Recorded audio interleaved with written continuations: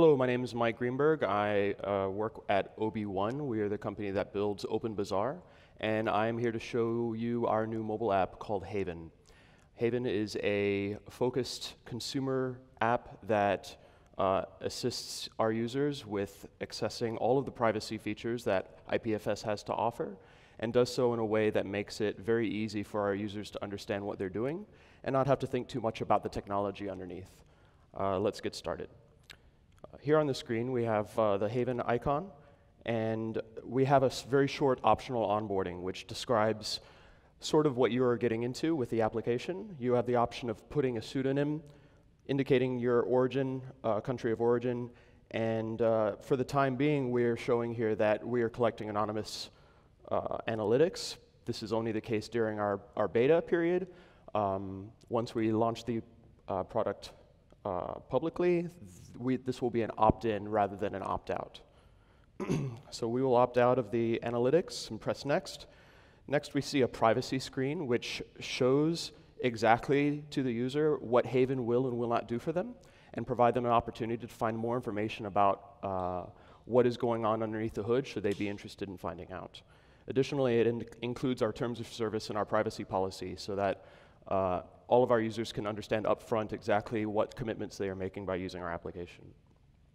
When we click I accept, in the background on the, on the mobile device, a full IPFS node, which is embedded into the application, is starting and initializing a new identity for this particular app and associating that identity with the information that you included in the onboarding, should you have happen to include it. On the very first screen that we see here, this is the discovery screen.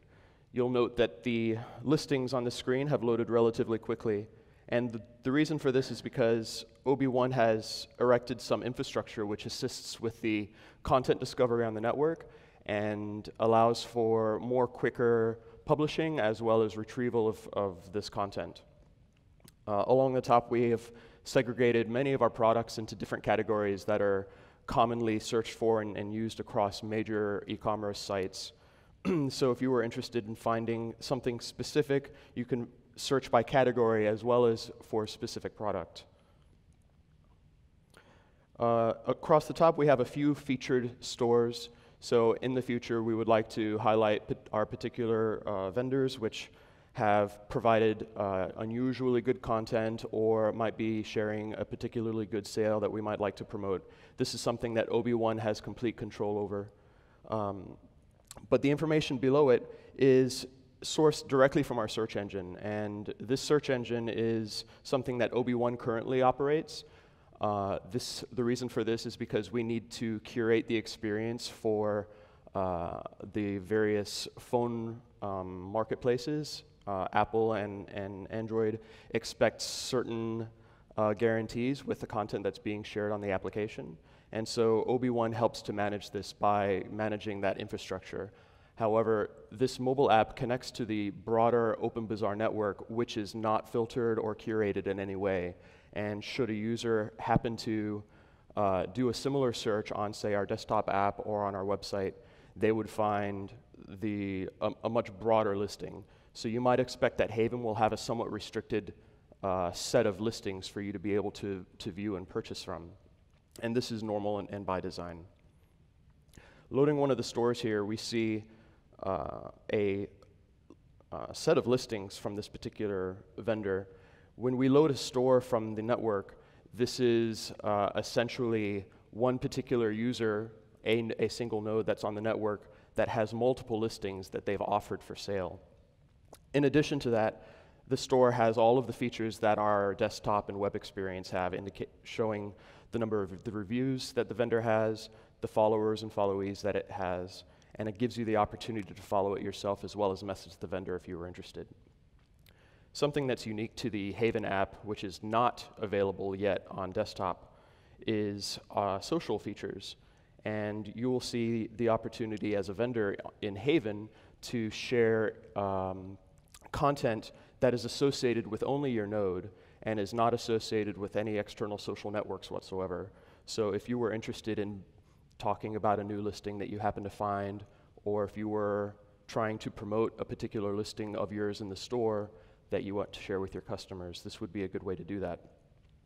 Uh, social listings have the ability for being reposted, liked, and commented upon as well, so there is a very rich opportunity for discussion built in.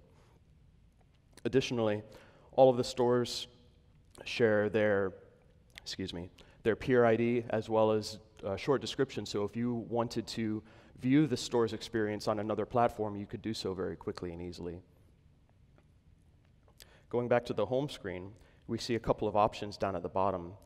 Uh, the default screen, as I had said before, is the Discover view, but if you want to see specifically the social feed and not have to be looking at a, a specific vendor's social feed, we've aggregated an index of social uh, content that you can see and comment and interact with. On the other side of that, we have the ability of managing your private conversations. As I had mentioned, this is an application focused on privacy. So all of your conversations would appear in this screen, and they would be all encrypted peer-to-peer.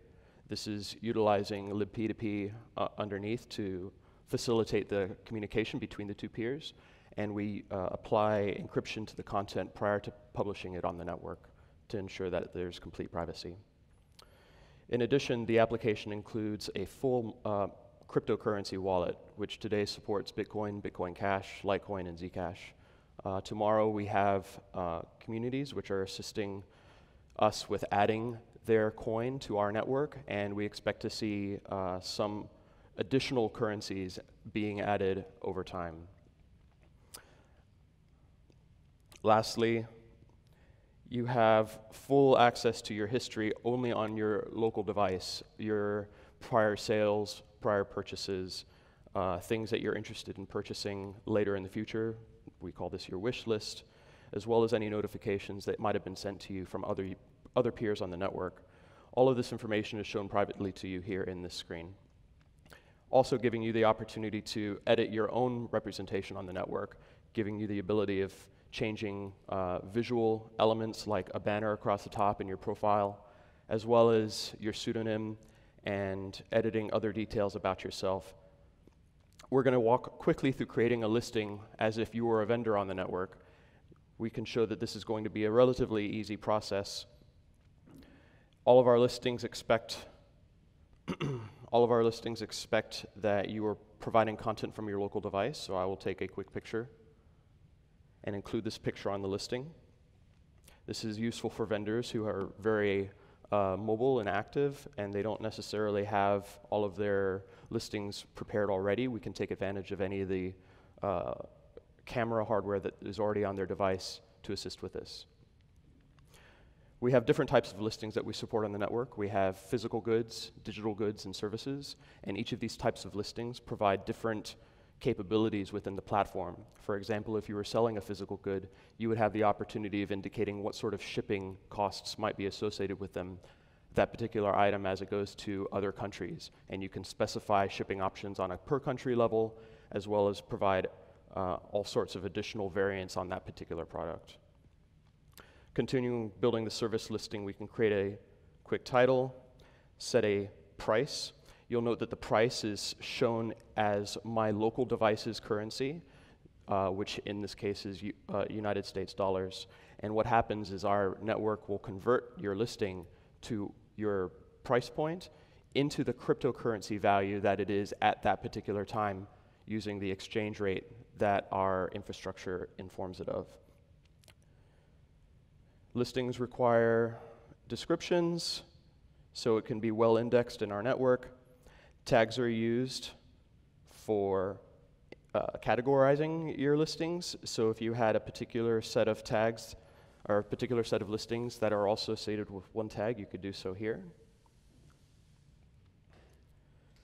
You can also indicate whether or not your listing is mature. So we want to uh, respect our users' wishes to not be able to see particular content, and vendors can do opt into this by uh, opting to hide the media associated with their listing, allowing the user to choose to see mature content uh, should they be unsure that they want to see that.